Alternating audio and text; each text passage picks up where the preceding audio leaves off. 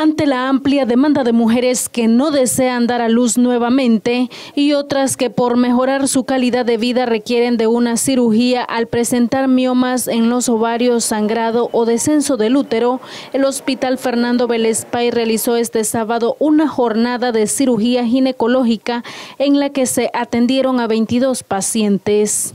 Tratando de restituir siempre los derechos a las mujeres, es necesario eh, programar jornadas para hacer esterilizaciones, para hacer este, histerectomía, pacientes crónicas que necesitan su atención lo más pronto.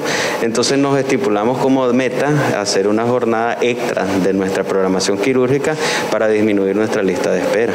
En nuestro país el nivel de fertilidad es bastante alto, sin embargo mujeres con más de dos hijos buscan la planificación definitiva.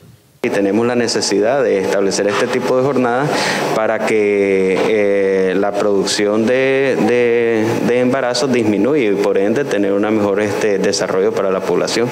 Este hospital realiza semanalmente ocho histerectomías, lo que significa un promedio entre 30 y 40 pacientes a las que se le realiza este procedimiento. Entre más rápido le resolvamos con una cirugía, como es este caso de la histerectomía, pues va a tener una sobrevida mayor y, y por ende va a haber un menor gasto para la sociedad y una mejor calidad de vida para la paciente. Se espera que en el año 2020 este hospital de referencia nacional realice tres jornadas similares con cámara de Moisés Pérez en Crónica TN8, Dalila Álvarez.